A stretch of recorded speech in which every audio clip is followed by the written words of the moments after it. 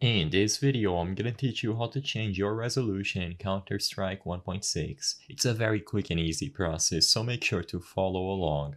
All that you have to do is open up Counter-Strike 1.6, and once you arrive inside of the game, go into the options. I recommend that you change your resolution before actually joining a server or a match. So in the main menu, click Options and switch over to the Video tab.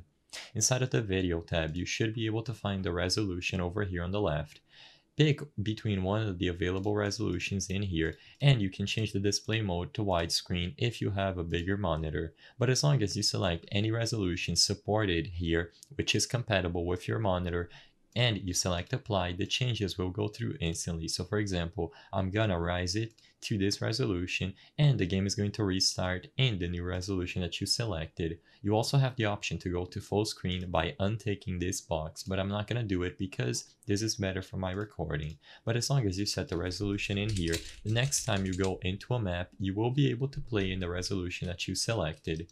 Like I mentioned, I recommend that you go back to the main menu to apply these changes, but you can do it in game. It is just going to get restarted mid-game. You can change it to any compatible resolution listed there and use it when you are playing Counter-Strike 1.6.